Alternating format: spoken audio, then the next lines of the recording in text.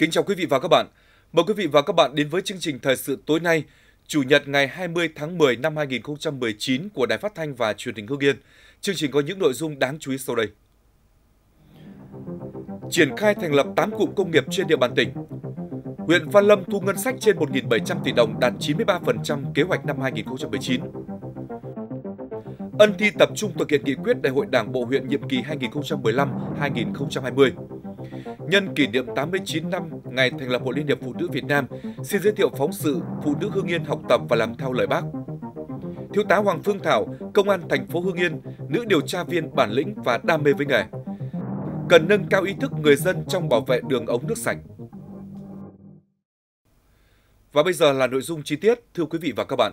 Sở Công Thương đang phối hợp với các sở ngành chức năng và Ủy ban Nhân dân các huyện, thị xã, thành phố triển khai thành lập 8 cụm công nghiệp trên địa bàn tỉnh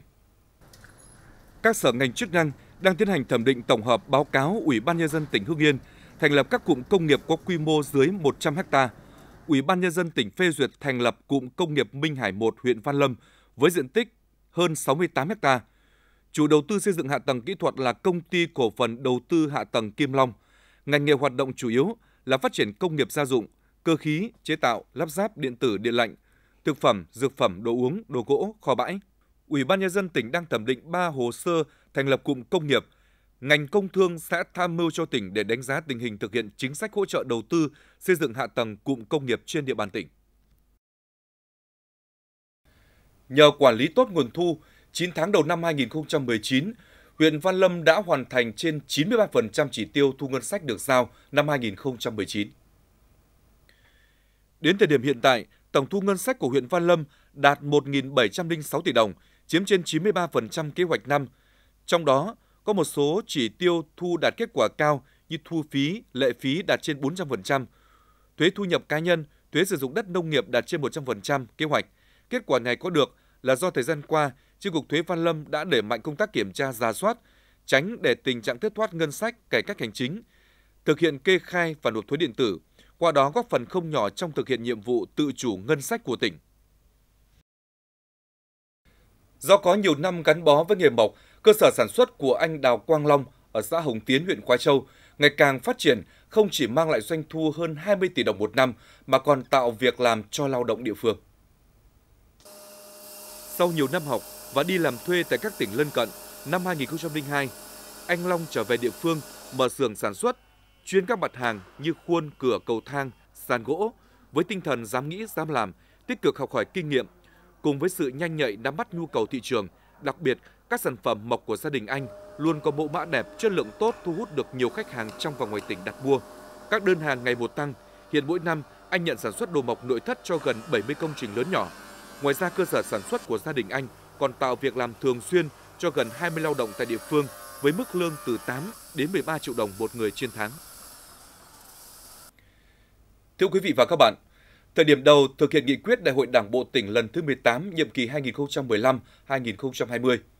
Ân Thi cùng với Tiên Lữ và Phù Cử là ba địa phương gặp khó khăn về cơ sở hạ tầng cũng như nguồn lực cho đầu tư phát triển. Tuy nhiên với cách làm chắc chắn lấy sự đồng thuận ủng hộ từ nhân dân làm động lực cho phát triển, có phần hoàn thành sớm nhiều chỉ tiêu nghị quyết Đại hội Đảng bộ huyện Ân Thi đề ra trong nhiệm kỳ này. Đầu nhiệm kỳ, Nguyễn Trãi là xã trung bình của huyện Ân Thi.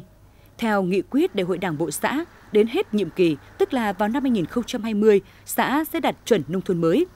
Biến khó khăn của địa phương thành sức mạnh đoàn kết là thành công lớn của địa phương nhằm sớm hoàn thành từng mục tiêu nghị quyết Đảng bộ xã đã đề ra. Theo phương châm dân biết, dân bàn, dân làm, dân kiểm tra, trong quá trình thực hiện nên mọi phong trào Nguyễn Trãi đều nhận được sự đồng thuận ủng hộ cao từ nhân dân từ dồn thừa đổi ruộng, chuyển đổi cơ cấu cây trồng, xây dựng mở rộng đường làng ngõ xóm, đường ra đồng, góp phần đưa địa phương trở thành một trong ba xã đầu tiên của huyện Ân Thi được công nhận nông thôn mới vào năm 2016. Có những cái kết quả được như trên thì chúng tôi rút ra một cái bài học đó là trước hết là cái nâng cao cái năng lực lãnh đạo, sức chiến đấu của tổ chức cơ sở đảng, chất lượng sinh hoạt à, của các tri bộ là ngày càng được nâng cao. Cái thứ hai nữa là các cái củng cố à, các cái vai trò của mặt trận tổ quốc và các đoàn thể. Trên phạm vi toàn huyện, Để thực hiện cho được nghị quyết Đại hội Đảng bộ huyện Ân Thi khóa 25 nhiệm kỳ 2015-2020 đã đề ra, huyện ủy đã ban hành 3 chương trình và 5 đề án. Mỗi chương trình đề án chính là sự cụ thể hóa đầy đủ toàn diện và sâu sắc nhất mục tiêu nghị quyết đại hội đề ra trên từng lĩnh vực. Các chương trình đề án đều đặc biệt chú trọng đến tính khả thi, dựa trên nguồn lực thế mạnh của địa phương, xác định cách thức thực hiện qua từng năm không giàn trải trong xác định mục tiêu, nâng cao hiệu lực, hiệu quả của chính quyền và tinh thần thái độ phục vụ, tác phong làm việc của đội ngũ cán bộ công chức từ huyện đến xã. Công tác kiểm tra giám sát được cấp ủy các cấp chú trọng thông qua đó đã giúp cấp ủy có những đánh giá đúng tình hình, kịp thời biểu dương nhân rộng các đơn vị làm tốt, đồng thời chấn chỉnh rút kinh nghiệm những đơn vị chưa sâu sát trong lãnh đạo chỉ đạo, làm chưa tốt. Từ đó vận động để người dân cùng trao đổi, có ý kiến nhằm phát huy sức mạnh đoàn kết tập thể. Hơn ai hết, người dân ở các địa phương trong huyện Ân Thi sẽ cảm nhận rõ nhất về sự thay đổi đi lên cho đến thời điểm này của nhiệm kỳ Đại hội Đảng Bộ huyện lần thứ 25. Đường xã Ân Thi bây giờ là mở rộng lắm, to lớn ngay ở thôn An Đạm này cũng vậy thôi. Đây ra gọi là sang Hải Dương thoải mái đi hoặc đây vào tỉnh hoặc là lên Hà Nội là sẵn sàng phương tiện không phải chờ cứ điện cái là có xe cộ đi ngay. Kinh tế thì coi lưng lên nhiều phần, nhưng không có nhà nào đói rách. Đến nay, dù chưa kết thúc nhiệm kỳ Đại hội Đảng bộ huyện khóa 25, nhưng nhiều chỉ tiêu của nghị quyết đã hoàn thành và vượt kế hoạch. Tiêu biểu phải kể đến công tác xây dựng nông thôn mới, xây dựng cơ sở hạ tầng, xây dựng và phát triển hệ thống đường giao thông, chương trình lao động việc làm, công tác xây dựng tổ chức đảng và phát triển đảng viên.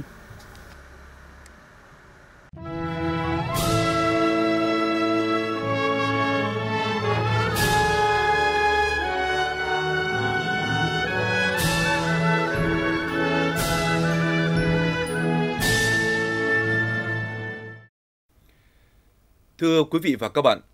sinh thời, Bác Hồ luôn quan tâm và đánh giá cao vai trò của phụ nữ trong quá trình phát triển của lịch sử dân tộc.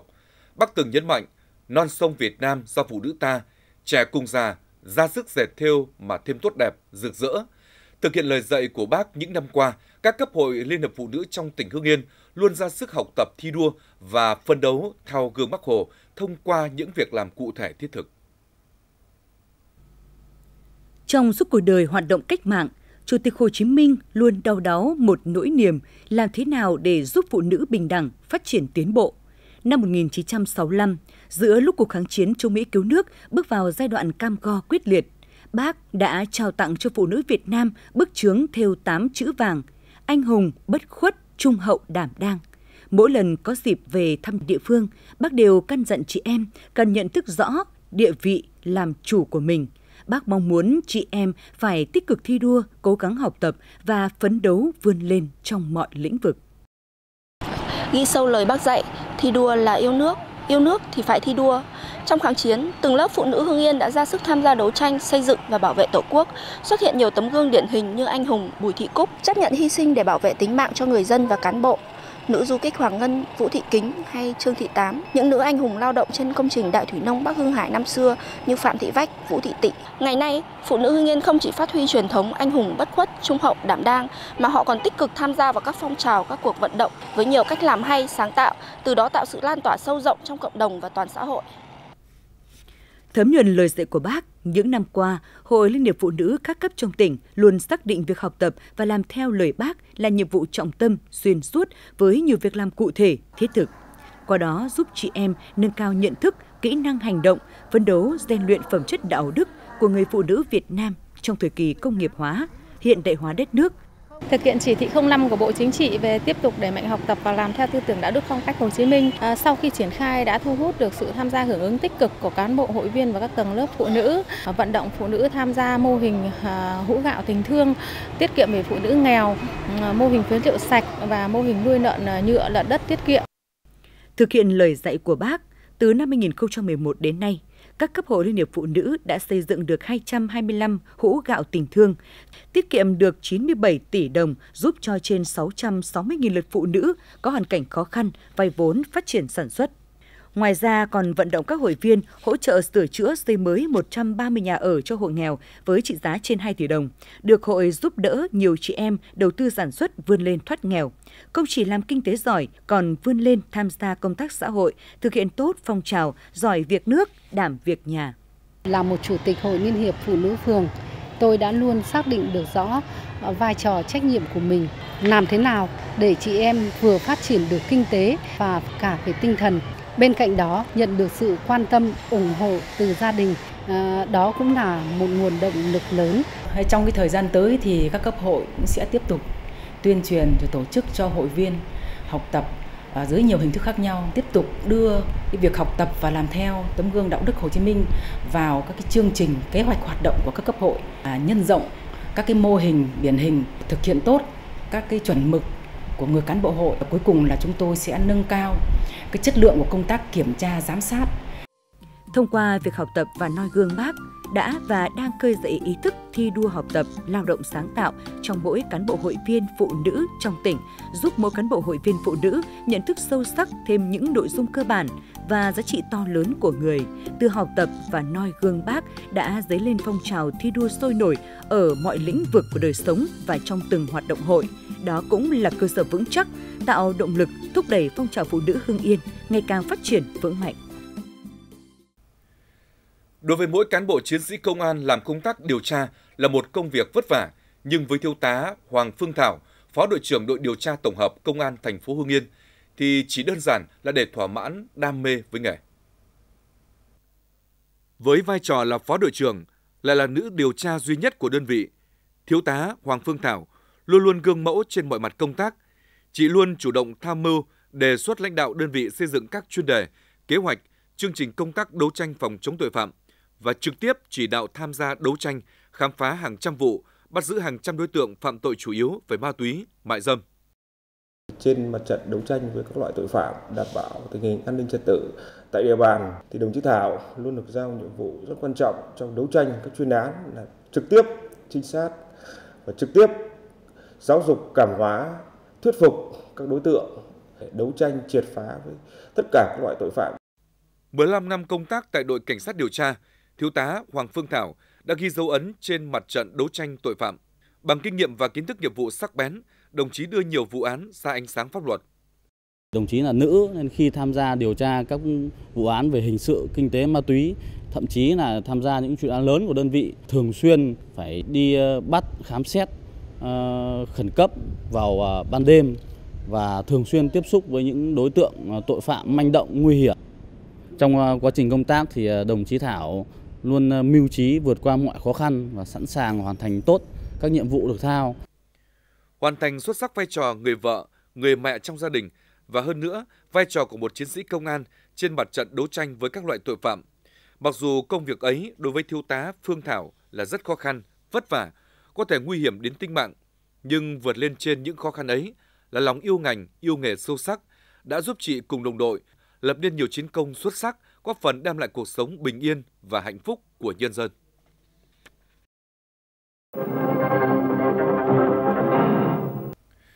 Mời quý vị và các bạn theo dõi tiếp chương trình thời sự. Trên địa bàn huyện Yên Mỹ vẫn xuất hiện tình trạng các hộ chăn nuôi nhỏ lẻ trong khu dân cư chưa có biện pháp xử lý chất thải gây ô nhiễm môi trường.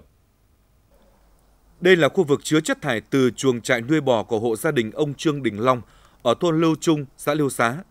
Tất cả được thải trực tiếp ra môi trường, không qua hệ thống cống thoát nước, không được che chắn, bao cà, quanh năm có màu đen ngòm, bốc mùi hôi thối. Không chỉ vậy, đây còn là nơi sinh sôi của nhiều sinh vật truyền nhiễm như ruồi, muỗi, ảnh hưởng nghiêm trọng đến đời sống và sức khỏe của người dân xung quanh. Những trường hợp chăn nuôi trong khu dân cư như gia đình ông Long xuất hiện ở nhiều địa phương trên địa bàn huyện Yên Mỹ như xã Giai Phạm, Đồng Than, Trung Hòa, Yên Phú. Trong đó, một số hộ không xây dựng hầm bioga hoặc xây các hầm có quy mô nhỏ không đáp ứng được việc xử lý chất thải. Bởi vậy, rất nhiều hộ dân đã xả thải ra môi trường, không chỉ gây ô nhiễm môi trường mà còn ảnh hưởng đến mối quan hệ làng xóm, gây mất đoàn kết trong khu dân cư. Hiện nay tại nhiều nơi trên địa bàn tỉnh đang xảy ra tình trạng một số người dân thiếu ý thức đã có hành động đốt hoặc phá hoại đường ống cấp nước sạch, lộ thiên, gây gián đoạn việc cấp nước và làm thiệt hại kinh tế của các doanh nghiệp cấp nước sạch. Đây là tuyến ống nước sạch loại DN250 của công ty nước sạch Ngọc Tuấn đi qua địa phận xã Phạm Ngũ Lão huyện Kim Động. Tại vị trí này thường xuyên xảy ra tình trạng người dân đốt rác làm cháy đường ống cấp nước bằng nhựa HPDA. Chỉ một đoạn đường ống lộ thiên dài hơn 3 mét nhưng chằng chịt các vết nối các vụ sự cố. Tuyến ống này cung cấp nước sạch cho gần 2.000 hộ dân của ba xã Nghĩa Dân, huyện Kim Động, Quảng Lãng và Xuân Trúc, huyện Ân Thi. Việc công ty nước sạch phải dừng cấp nước để khắc phục sự cố khiến người dân tại các địa phương này rất bức xúc khi không có nước để sinh hoạt. Tất cả bây giờ gia đình chúng tôi sử, sử dụng nước sạch thì không có nước sạch thì coi là bế tắc hết. Có một đợt đợt vừa rồi lâu nhất có ờ, hình như sửa được ống một ngày hai ngày đấy. thôi trên cái thời gian là khó khăn lắm. Trên địa bàn tỉnh hiện có rất nhiều tuyến ống cấp nước sạch lộ thiên. Đây là những vị trí đặc biệt đơn vị cấp nước không thể tiến hành chôn đường ống xuống lòng đất. Nhiều người dân thiếu ý thức vô tình hoặc cố ý đã phá hoại những đường ống này. Tình trạng này diễn ra tại nhiều điểm có đường ống cấp nước lộ thiên như tuyến ống của các nhà máy nước sạch Nguyên Hòa, nhà máy nước sạch An Bình, nhà máy nước sạch Ngọc Tuấn, nhà máy nước Dạ Trạch, nhà máy nước Liên Xá. Do người dân thiếu ý thức thì cũng ờ, chất rác, chất ờ, củi ờ, đốt nghịch thì có thể là chặt đứt được vỡ ống. Thiệt hại của nhà máy là rất là lớn. Giả sử như là một cái đai sửa chữa thôi nó cũng lên đến vài chục triệu, chưa kể nhân công trong cái quá trình sửa chữa. Để có các đường ống cấp nước sạch phủ khắp các khu dân cư như hiện nay, các đơn vị cấp nước đều phải đầu tư kinh phí rất lớn, trong khi đó nước sạch là vấn đề thiết yếu hàng ngày của mỗi gia đình. Vậy thiết nghĩ mỗi người dân cần nâng cao hơn nữa ý thức trong việc bảo vệ đường ống cấp nước sạch. Việc triển khai phần mềm công nghệ thông tin kết nối các cơ sở cung ứng thuốc trên địa bàn tỉnh đã được thực hiện hơn một năm nay. Tuy nhiên tiến độ tính đến nay là khá chậm, chỉ đạt 30%. Tính đến ngày 30 tháng 9 năm 2019, Sở Y tế Hưng Yên phối hợp với chi nhánh Viettel Hưng Yên triển khai phần mềm công nghệ thông tin kết nối các cơ sở cung ứng thuốc trên địa bàn tỉnh. Đã có trên 300 cơ sở cung ứng thuốc được kết nối liên thông, đạt tỷ lệ 30%. Tỷ lệ này còn rất thấp so với tiến độ. Thêm vào đó là tuy đã kết nối mạng, song lượng các nhà thuốc báo cáo và nhập số liệu rất thưa và sơ sài. Hiện Sở Y tế Hưng Yên vẫn đang tiếp tục chỉ đạo triển khai việc ứng dụng công nghệ thông tin kết nối nhà thuốc, quầy thuốc, tủ thuốc trạm y tế xã còn lại trên địa bàn tỉnh, đảm bảo đúng mục tiêu và lộ trình theo thông tư của Bộ Y tế, hoàn thành 100% vào tháng 1 năm 2020. Sau các sự cố liên quan đến vaccine lắng xuống, số lượng trẻ đến tiêm chủng tại các điểm tiêm dịch vụ hiện đang tăng lên, thậm chí dẫn đến tình trạng cháy một số vaccine dịch vụ. Theo một số cán bộ tiêm chủng tại phòng tiêm dịch vụ Sapro Hưng Yên, sau mỗi lần có thông tin về sự cố trẻ tai biến hoặc tử vong liên quan đến vaccine lắng xuống, số trẻ đăng ký tiêm vaccine dịch vụ lại tăng vọt. Hiện tại, trung tâm vaccine 6 trong 1 Hetasim của Pháp được niêm yết với giá 950.000 đồng một mũi và Infafim Haisa của Bỉ là 920.000 đồng một mũi. Nếu so sánh thì vaccine 5 trong 1 Combify mà trẻ được tiêm miễn phí thì giá thành mỗi vaccine này là khá cao. Trong khi đó, trẻ sẽ phải tiêm 3 mũi khi được 2, 3 và 4 tháng tuổi. Tuy nhiên, Bộ Y tế cũng cho rằng người dân không nên quá lo lắng, các phụ huynh có thể đưa con đi tiêm vaccine miễn phí thay cho vaccine dịch vụ. Hiện Việt Nam luôn có đủ vaccine có khả năng phòng bệnh tương tự như các loại vaccine dịch vụ và hiện đang được tiêm miễn phí cho trẻ em trên toàn quốc. Tất cả các vaccine trong chương trình tiêm chủng mở rộng đều đã được giám sát nghiêm ngặt về chất lượng, đảm bảo an toàn theo đúng tiêu chuẩn. Thông tin vừa rồi đã khép lại chương trình thời sự của Đài Phát thanh và Truyền hình Hưng Yên. Cảm ơn quý vị và các bạn đã quan tâm theo dõi. Xin kính chào tạm biệt và hẹn gặp lại.